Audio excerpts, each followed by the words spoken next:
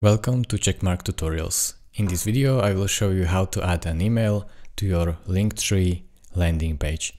First thing you need to do is open up link linktr.ee. Then go over here to admin or create an account if you have not already.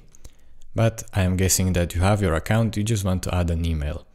So make sure you click on that admin and you should appear in links section. Go over here to settings section wait while it loads and then make sure you are in social icons which is the first tab and then you have to click on add an icon and as you can see I have here Facebook, Instagram and YouTube. So click on add an icon and then type here mail and as you can see email will appear, click on that and here type your email address and click on add to Linktree. Now as you can see your email has been added and it is here as well.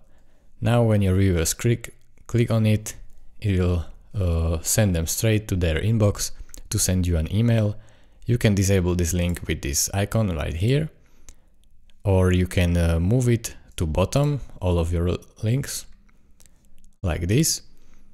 And you can also change the order of these icons just by dragging with these three dots. So let's say I want my email to be first.